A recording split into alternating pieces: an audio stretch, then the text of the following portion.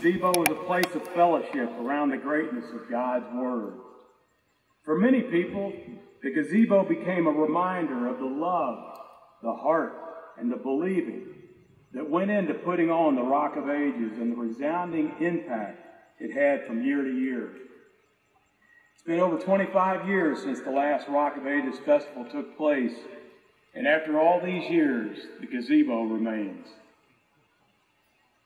For over two years now, there's been a great movement taking place in our ministry, and great restoration has taken place in the hearts and lives of so many people.